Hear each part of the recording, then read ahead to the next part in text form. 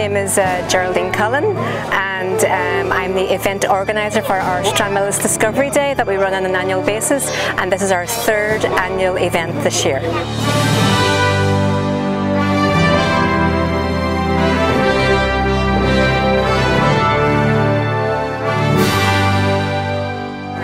Was a scheme that I saw advertised um, by the Belfast City Council, a small parks grant scheme, where the City Council give you a small grant for using one of their open spaces that's not used very often.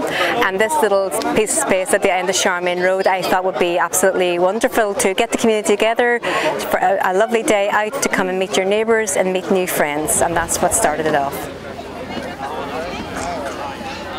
12 months and hectic just to organise this one day. Um, the most challenging thing is getting help and getting assistance and getting other people to help me out. And the members of the Stranmillis Committee do help me out a lot, but there's still an awful lot to, organise. But I enjoy it, I like pull, pulling things together and it makes it all worthwhile when you get a sunny day and all the friends and neighbours are out here having a lovely day. I think it's, it's really important because in this day and age everybody's working, they're doing their own things and communities are disappearing.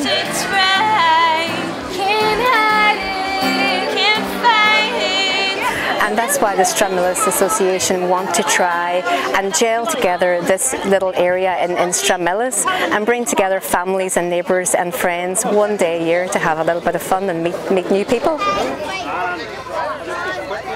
Today we have um, Eamon Phoenix who's going to be doing a little historic talk on the history of this our lovely area here in Stranmillis. We have the wonderful Lagan Vale Brass Band playing some lovely music while you can eat your burgers from the fatted calf.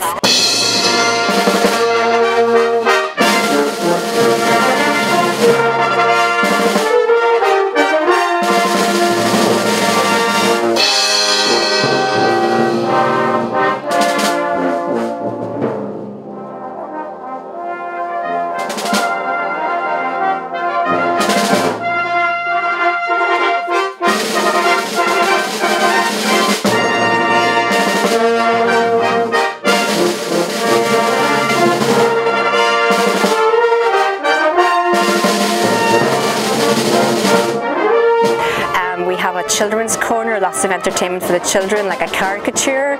We have um, a crafts table for the kids to come along and do some paintings, scavenger hunts, um, and lots of things going on for the kids and, and the adults all day long.